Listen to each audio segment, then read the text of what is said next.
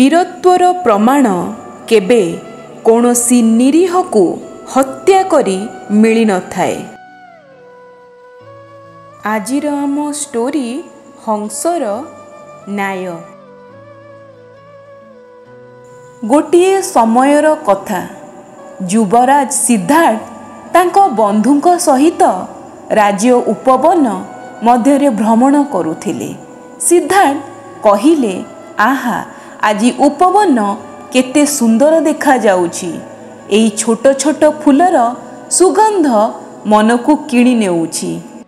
ସିଦ୍ଧାର୍ଥଙ୍କର କଥା ଶୁଣି ତାଙ୍କ ବନ୍ଧୁ ଉତ୍ତର ଦେଲେ ଏହି ପରିବେଶ ବସନ୍ତ ଋତୁର ଆଗମନ ପାଇଁ ହିଁ ସମ୍ଭବ ହୋଇପାରିଛି। ବନ୍ଧୁ ମୁଖରୁ ଏହି କଥା ଶୁଣୁ ଶୁଣୁ ହଠାତ୍ ସିଦ୍ଧାର୍ଥ ପାଟି କରି ଉଠିଲେ ବନ୍ଧୁ ସମ୍ଭାଳିକି ତୁମ ପାଦ ପାଖରେ ଏକ କ୍ଷତାକ୍ତ ପକ୍ଷୀ ପଡ଼ିଛି। ସିଦ୍ଧାର୍ଥ ନଈ ପଡ଼ି ଦେଖିଲେ ସେହି ପକ୍ଷୀଟି ଗୋଟିଏ ହଂସ ଥିଲା ଏବଂ ତାର ପରରେ ଗୋଟିଏ ସର ଲାଗିଥିଲା ଓ ସେ ଭୟ ଓ ଯନ୍ତ୍ରଣାରେ ଛଟପଟ ହେଉଥିଲା। ସିଦ୍ଧାର୍ଥ ପକ୍ଷୀଟିର ଦେହରୁ ସରଟିକୁ କାଢ଼ି କ୍ଷତ ସ୍ଥାନକୁ ପାଣିରେ ଧୋଇଦେଲେ।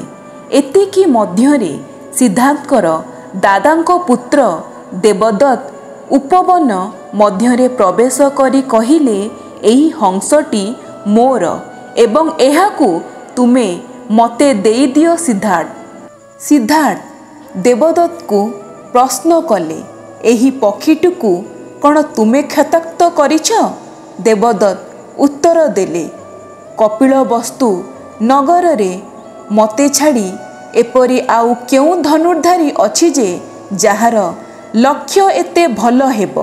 ଯିଏକି ଗୋଟିଏ ମାତ୍ର ବାଣରେ ହିଁ ଗୋଟିଏ ପକ୍ଷୀକୁ ଆକାଶରୁ ତଳକୁ ଖସାଇ ଦେବ ସିଦ୍ଧାର୍ଥ ଏହା ଶୁଣି ଉତ୍ତର ଦେଲେ ହଂସଟିକୁ ଅବଶ୍ୟ ତୁମେ କ୍ଷତାକ୍ତ କରିଛ ମାତ୍ର ଏହି ହଂସକୁ ମୁଁ ରକ୍ଷା କରିଛି।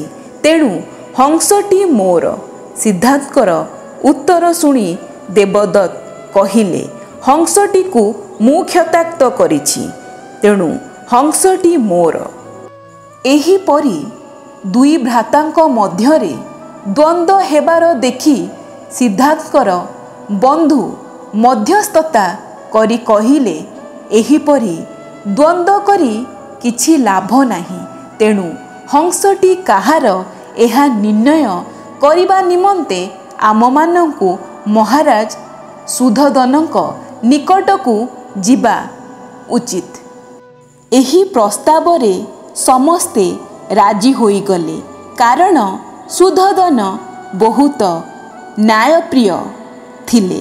କିଛି ସମୟ ପରେ ସମସ୍ତେ ଯାଇ ମହାରାଜଙ୍କର ଦରବାରରେ ପହଞ୍ଚିଲେ। ରାଜ୍ୟ ଦରବାରରେ ପହଞ୍ଚି ଦେବଦତ୍ତ ମହାରାଜଙ୍କ ସମ୍ମୁଖରେ ଅଭିଯୋଗ କଲେ ଯେ ସିଦ୍ଧାର୍ଥ ତାଙ୍କର ପକ୍ଷୀଟିକୁ ନେଇଯାଇଛନ୍ତି ଏହାପରେ ମହାରାଜ ସିଦ୍ଧାର୍ଥକୁ କହିଲେ ସିଦ୍ଧାର୍ଥ ତୁମେ ପକ୍ଷୀଟିକୁ ନିଜର ବଡ଼ ଭାଇଙ୍କୁ ଦେଇଦିଅ ଏହା ଶୁଣି ସିଦ୍ଧାର୍ଥ ଉତ୍ତର ଦେଲେ ମହାରାଜ ମୁଁ ଏହି ପକ୍ଷୀ ତରଫରୁ ନ୍ୟାୟ ଭିକ୍ଷା କରୁଛି। ଏହାକୁ ଜୀବନଦାନ ଦିଆଯାଉ।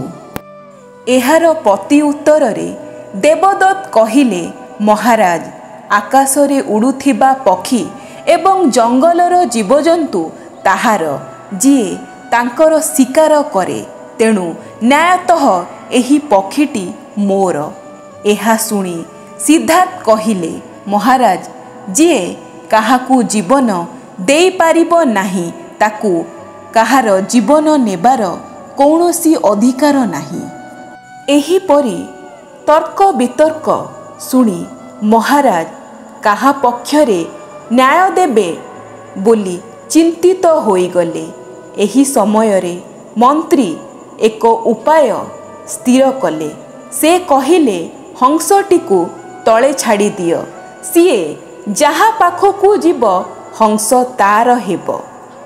ମନ୍ତ୍ରୀଙ୍କ କହିବା ଅନୁସାରେ ହଂସଟିକୁ ତଳେ ଛାଡ଼ିଦେବା ପରେ ଦେବଦତ୍ତ ପ୍ରଥମେ ହଂସଟିକୁ ଡାକିଲା ଏବଂ ହଂସ ଦେବଦତ୍ତକୁ ଦେଖି ଭୟରେ ଯେଉଁଠି ଥିଲା ସେଠାରେ ଛିଡ଼ା ହୋଇ ରହିଲା।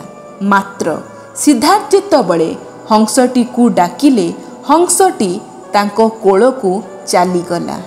ଏହାପରେ ମନ୍ତ୍ରୀ କହିଲେ ଦେଖନ୍ତୁ ମହାରାଜ ନିର୍ଣ୍ଣୟ ହୋଇଗଲା ରାଜହଂସ ସିଦ୍ଧାନ୍ତଙ୍କର ଏହାପରେ ଦେବଦତ୍ତ ଅପମାନିତ ହୋଇ ସେଠାରୁ ଚାଲିଗଲେ।